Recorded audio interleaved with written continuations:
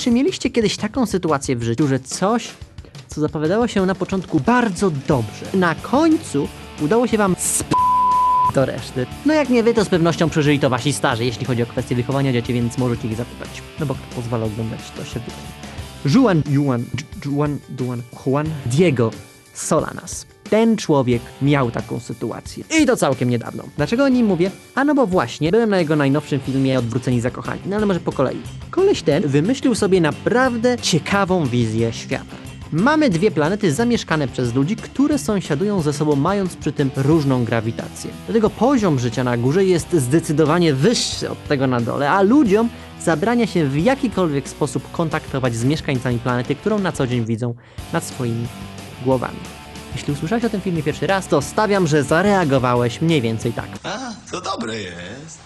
Tylko na całe nieszczęście dla tego filmu trzeba jeszcze było wymyślić do tego ciekawego świata jakąś historię, o której będzie opowiadał. No i tu mamy pasztet. Bo mając na tacy tak za podkład, twórcy postanowili nam zaserwować jakieś wyciągnięte z krowiej d- romansidło. I nie, nie, nie. Ja nie mam nic do filmów obyczajowych, ale warunek jest jeden. Trzeba się postarać podczas pisania scenariusza, na przykład jak w Zakochanym bez pamięci. Albo ja wam pokażę.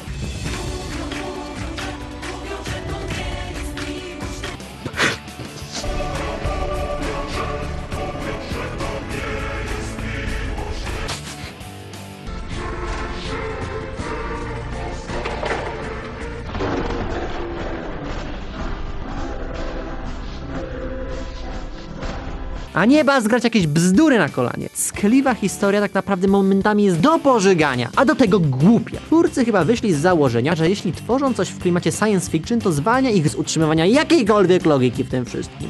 I wyobraźcie sobie, że ktoś przyczepia was na przykład pod sufit. I czy stanie, a tym bardziej chodzenie do góry nogami jest dla was normalne? A główny bohater nawet biegać potrafił. Tylko, że jest jeden problem. Nie wystarczy ku czepić się pod sufit, by stał się twoją podłogą. Organizm ludzki tak nie działa, a tym bardziej, gdy w grę wchodzi grawitacja. Krew po paru minutach napłynęłaby ci do głowy. Zrobiłbyś się czerwony i padł.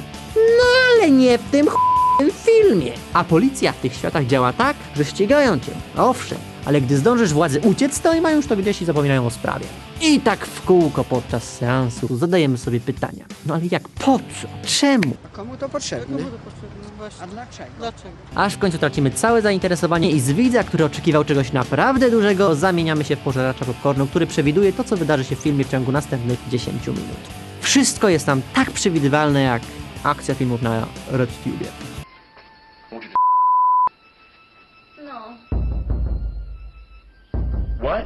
Jednak i tak wszystko przebija i tu uwaga, spoiler. Ciąża, która powstała z pocałunków, no bo to w sumie jest maks intymności, jaką widzieliśmy w filmie między głównymi bohaterami.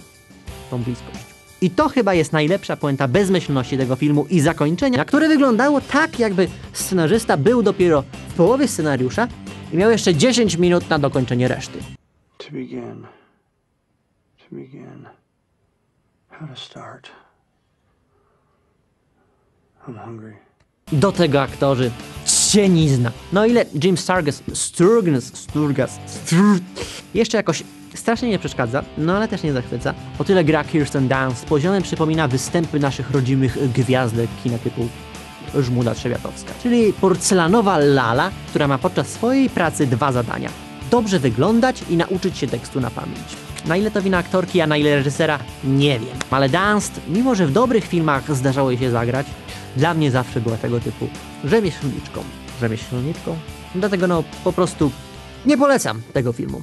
A jak Stanek nie poleca, to oznacza, że mamy do czynienia z mocno śmierdzącym g- bo ja akurat poziom tolerancji naprawdę mam całkiem wysoki. A nie powiedzielibyście, nie? Więc jeśli chcecie zobaczyć wszystko, co w tym filmie jest najlepsze, to polecam odpalić sobie trailer. W zupełności wystarczy, a zaoszczędzicie dzięki temu niecałe dwie godziny, podczas których naprawdę muszę to powiedzieć. No, dobrze. Zaoszczędzicie niecałe dwie godziny, które możecie spędzić oglądając produkcję na naszej platformie. O, albo możecie pójść do kina na Teda, którego polecam jak cholera, bo jest zjadliwy i śmieszny. Znaczy, chciałem powiedzieć, że zjadliwy humor jego nie ma żadnych granic. Ale nie będę o tym filmie więcej tam mówić, bo to zwyczajnie trzeba pójść i zobaczyć na własne oczy. Czyli Ted tak, odwróceni zakochani nie, Rafiga światła idziemy na kolejny film. Co polecacie?